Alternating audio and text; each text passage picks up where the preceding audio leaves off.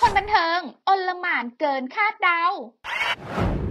วงการบันเทิงมีเรื่องเซอร์ไพรส์มากมายที่มากระแทกสมองและหัวใจของคนรับสาร แต่จะว่าไปบางครั้งบางข่าว ก็สร้างความงงงวยให้แก่นักข่าวเช่นกัน ว่าเรื่องแบบเนี้ยทำไมทำไม กลับตาลปัตรได้อย่างสิ้นเชิง ทั้งๆที่รูปการออกมาแล้วไม่น่าจะเกิดความแปรผัน ส่วนว่าจะมีเรื่องใดกันบ้างนั้น มาดูกันสิว่าคดีพลิกกันกี่เรื่อง ขอออกสตาร์ทกันด้วยเรื่องของสาวพลอยพลอยพรรณที่ออกมายั่วอดีตสามีสุดขีด หลังจากที่ทราบเรื่องว่าปีเตอร์คอร์ปไดเรนดัลได้ให้ข่าวออกมาว่า พร้อมประกาศขาย แถมยังมีภาพบ้านที่อยู่อาศัย ถูกประกาศขายอยู่หน้าเว็บไซต์หนึ่ง คุณแม่ลูกสองบอกถึงความรู้สึกว่าเหมือนถูกเผาไล่ที่ แต่ก่อนทุกอย่างจะเลวร้ายหนัก ปีเตอร์ก็ไม่รอช้า รีบเขาแจ้งความเพื่อลงบันทึกประจำวัน เพื่อยืนยันความบริสุทธิ์ใจว่า ตนเองไม่ได้คนดำเนินการประกาศขายบ้านหลังนี้อย่างแน่นอน คุณพระแล้วงานเนี้ยใครทำกันละเนี่ย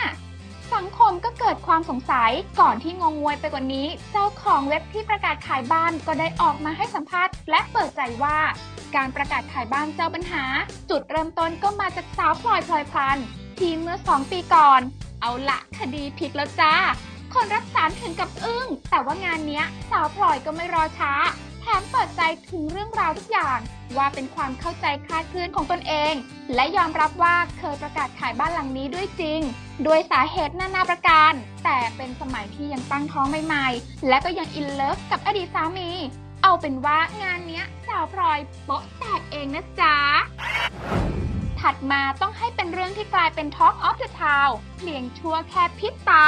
ประเด็นที่ว่าสาวชมพูอารยาท้องแล้วจ้าแถมยังต้องถอนตัวจากคิวละครเรื่องระเริงไฟของหน่อยบุษกร แต่ว่างานนี้เจ้าตัวได้แจ้งว่ายังไม่ท้องนะจ๊ะ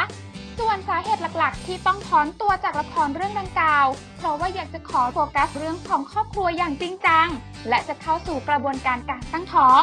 ว้าว เรียกว่าอยู่ในการเตรียมตัว โดยครั้งนี้สาวชมพู่ยังปล่อยวาทะเด็ดให้คนได้เตรียมลุ้นว่าวืดนะคะ อันนะเพราะว่ากระแสบอกว่านางเอกอาจจะถือเคล็ดก็เป็นได้ เอาเป็นว่าท้านับเดือนกันไปเลยแล้วกันจ้า ขยับมาที่คู่พลิกล็อกคนละพ่อโอละแม่ยังสาวแพทนภพากับโตโน่พาคิน ที่ดูเหมือนว่าจุดเริ่มต้นช่างสวยงามเหล่าบรรดาแฟนคลับก็จิ้นกันระเบิดระเบ้อ พากันคิดไปไกลแสนไกลว่าทั้งแพทและโน่กำลังเข้าสู่กระบวนการการปลูกต้นรัก เพราะว่ามีเหล่าภาพน่ารักน่ารักของโนแพทออกมาให้ดูเป็นระลอกไหนภาพที่จะเป็นหนุ่มโตโน่จับหัวแพทด้วยความเอ็นดูเอ็นดู โอ้โห เยอะแยะมากมายมาโกยความฟินกัน แต่แล้วทุกอย่างก็กลับพลิกโผลแพทได้ให้สัมภาษณ์สื่อถึงเรื่องความสัมพันธ์ว่าไม่ได้พัฒนาทุกอย่างยังอยู่จุดเดิม ที่เรียกว่าพี่น้อง ซึ่งทางฝ่ายชายก็ไม่คิดจะสารต่อใดๆ คุณพระมือทาบอกแล้วก็ขอปาดเหงื่อแฟนคลับถึงขั้นฝันสลายดอกไม้บานกันไป อวสานคู่ซีนไปโดยปริยาย ส่วนเรื่องนี้ก็อึ้งไม่น้อย เมื่อจู่ๆเจชนาทิพย์หรือแมสซี่เจได้โพสต์รูปตัวเองกับสาวเมพิชชนาธโชว์แมนแมนว่ากำลังคบหาดูใจกันอยู่ในฐานะของคนพิเศษ ความรักดูติดจรวดมากๆ ตอนนี้หลายคนก็มองว่าแค่คู่จินริมสนาม เพราะเห็นสาวเมย์เทใจเข้าเชียร์หนุ่มเจอยู่เนืองๆ ใครจะเชื่อล่ะคะคุณขาวว่าจากคู่จิ้นจะเป็นสู่คู่จริง แต่ที่พลิกโผตรงที่สาวเมย์ยอมรับว่าสนิทสนมกันมายาวนาน และต้องหลบๆซ่อนๆความสัมพันธ์ แต่ถ้าย้อนกลับไป 2 ปีที่แล้ว สาวเมย์เพิ่งถูกสารวัตรโจ้จัดงานเซอร์ไพรส์ขอแต่งงาน แต่สุดท้ายก็ต้องแห้วเพราะว่าฝ่ายชายทำเรื่องจนสาวเมย์ต้องถอยห่าง เอาละเรื่องนี้คดีพลิกเกิน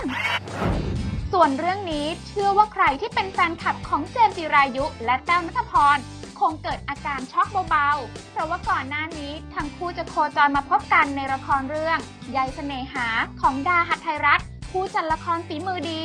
ข่าวดังกล่าวถูกนำเสนอไปอยู่หลายเดือน แต่ก็ไร้วี่แววความคืบหน้าของละคร โดยเฉพาะก่อนหน้านี้ สาวแต้วก็ได้เปิดใจว่า